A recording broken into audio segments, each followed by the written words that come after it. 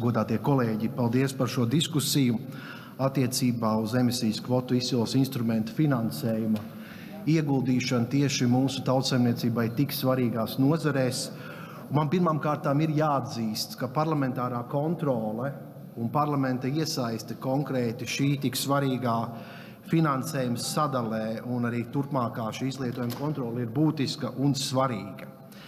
Tāpat laikā, kolēģi, man ir jāatgādina, ka atbilstoši likumam par piesārņojumu parlamentam ir jāuzklausa klimata un enerģētikas ministrs attiecībā uz ikgadējo šī instrumenta eh, finansējumu, kur arī tiek skaidri un gaiši norādīts, kādā veidā tas tiek darīts. Šī diskusija ir iespējama parlamentārās kontrolas rezultātā.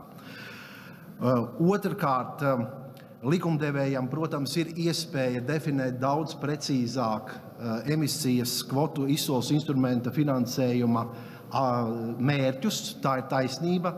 Šobrīd mēs darbojamies atbilstoši likuma par piesārņojumu noteikto mērķu ietvarā. Un, protams, valdība kā izpildvara šajā gadījumā atbilstoši tām nepieciešamībām un tām aktualitātēm, kas tieši ir saistītas ar mūsu mērķu izpildi ceļā uz klimata neutralitāti, arī darbojas. Kolēģi, es aicinu nepieņemt iesniegtos grozījumus un ļaut valdībai šajā gadījumā, kā izpildvarai, veikt šī izsoles instrumenta iedzīvināšanu. Paldies!